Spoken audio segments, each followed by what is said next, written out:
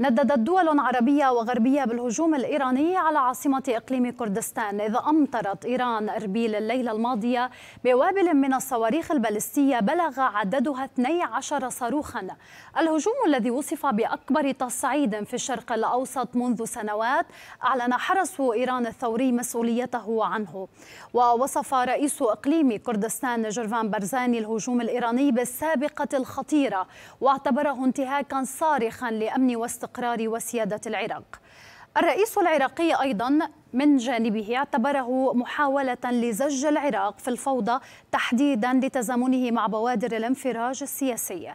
هذا ودانت الرياض بشدة الهجوم على أربيل وأكدت الخارجية السعودية وقوف المملكة إلى جانب العراق فيما يتخذه من إجراءات لحماية أمنه. ويأتي هذا الهجوم الصاروخي بعد نحو أسبوع من إعلان الحرس الثوري قتل اثنين من ضباطه بقصف إسرائيلي استهدف مواقع قرب دمشق الاثنين الماضي مهددا بالرد. وتزعم إيران أنها استهدفت مقر إسرائيلية في الوقت الذي تنفي فيه سلطات كردستان العراقية وجودا لمقار إسرائيلية في عاصمة الإقليم.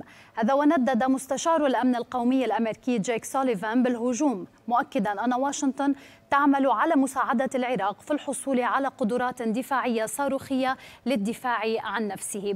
سوليفان أيضا أضاف أنه لم يصب أي مواطن أمريكي في الهجوم كما لم آه، تستهدف أي منشآت أمريكية ولكن الولايات المتحدة ستفعل كل ما بوسعها للدفاع عن شعبها ومصالحها وحلفائها.